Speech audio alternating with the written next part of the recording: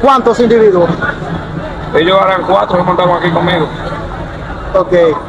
Ellos me dijeron que eran policía y que, que buscara droga y que una pistola. Y digo, yo no sé, yo nunca he usado droga. Bueno, mi gente, sean todos bienvenidos a El Rincón Urbano. Un saludo muy especial a todos mis seguidores. Bueno, señores, dándole seguimiento al asalto al banco de reservas que se perpetró ya hace unas semanas en una, en una plaza muy famosa en la ciudad de Santiago, donde al menos tengo entendido siete u ocho individuos penetraron esta plaza con el objetivo de, de penetrar ahí al banco de reservas, a una sucursal del banco de reservas, donde lamentablemente huyeron con dos maletines eh, llenos de dinero. El Banco de Reservas de inmediato emitió un comunicado donde comunicó a toda la sociedad que solamente habrían llevado, se habrían llevado aproximadamente unos 6 millones de pesos y que por suerte no penetraron en la bóveda, ahí donde se encuentra eh, la gran masa de dinero de, la entidad financiera. Y también les voy a poner aquí un video donde una de las víctimas eh, no fatales eh, que fue secuestrado durante el asalto. Él dice que lo, lo, mantuvieron ahí secuestrado de rehén por varias horas hasta que pudieron escapar y huir con todo el dinero. Afortunadamente no hubieron pérdidas humanas que lamentar, pero este señor que fue tomado de rehén sí se llevó tremendo susto. Lo, lo mantuvieron ahí por aproximadamente, eh, bueno, durante todo el atraco y posteriormente fue investigado en la policía para ver si se trataba de, de, un cómplice de esta pandilla. Así que vamos a escuchar las declaraciones que dio el jefe de patrulla que estuvo encargado ahí de, de la búsqueda de estos sospechosos. Bueno, esta tarde se entregó Gregorio Núñez, alias Niño Pepe, y está el señor Carlito también, que fue apresado, que fueron los que participaron en la que fue apresado mediante allanamiento, que participó en el atraco al banco. ¿Es cierto que se ocupó un fusil? Se ocupó sí un arma larga. Quedan dos prófugos, general. Se está investigando el caso, no sabemos cuántos quedan prófugos, pero vamos a seguimos trabajando, estamos identificando. Los que están identificados, eh, ya hay una parte que están detenidos.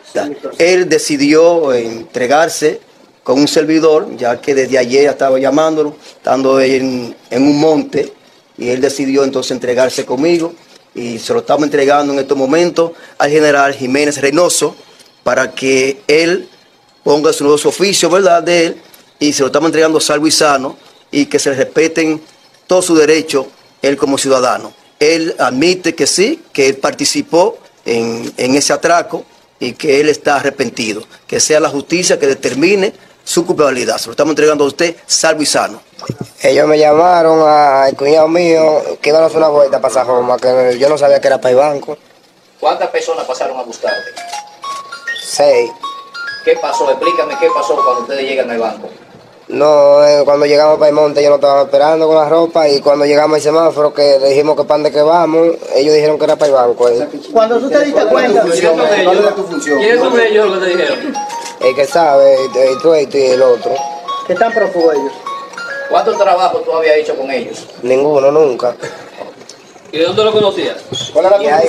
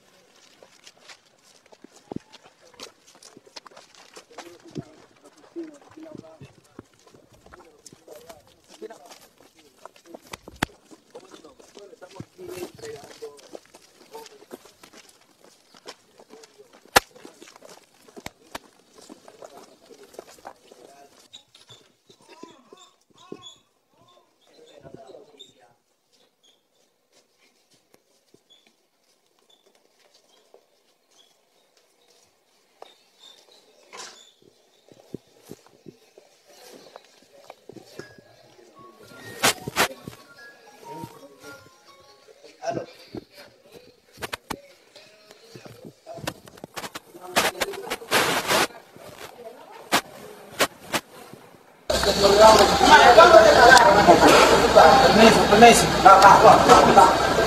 ¿Cuánto te pagaron para participar en este robo?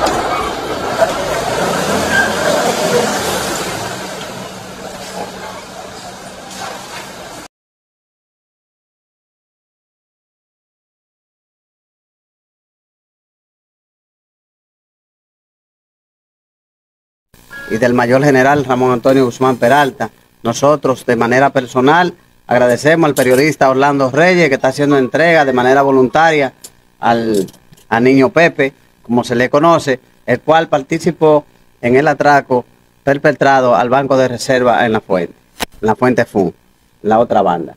La Policía Nacional le garantiza todos sus derechos, eh, su integridad física y será llevado al Ministerio Público para que sea procesado de acuerdo a lo que establece la ley. La Policía Nacional le reitera aquellos que están todavía prófugos que se entreguen, porque nosotros estaremos día y noche detrás de ellos.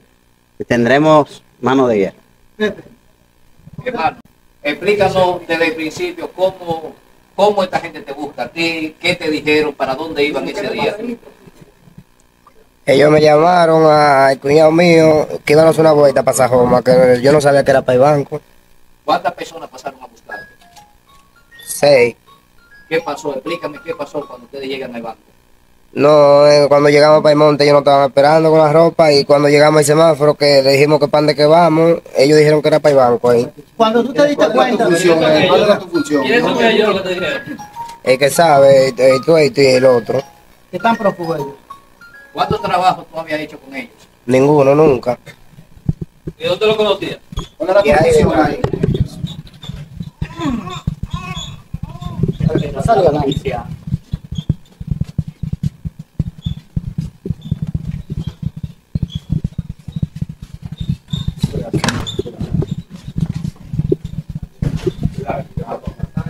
Sí, déjame trabajar.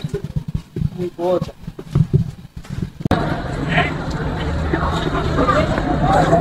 ¿Qué te decía?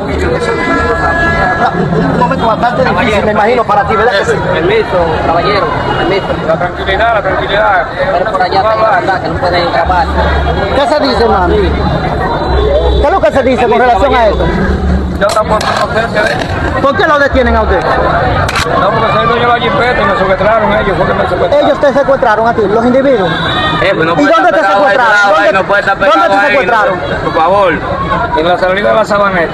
¿Te- ¿Cuántos individuos? Ellos eran cuatro que montaron aquí conmigo. Ok. ¿Cómo, cómo es tu nombre? Puerto del Carmen Díaz, Ok. ¿A qué tú te dedicas? Sabana Iglesia. Ellos, ellos lo secuestraron a usted, ¿qué fue? Ellos me dijeron que eran policías y que, que buscara droga y con una pistola. Y digo, yo no sé, yo nunca he usado droga.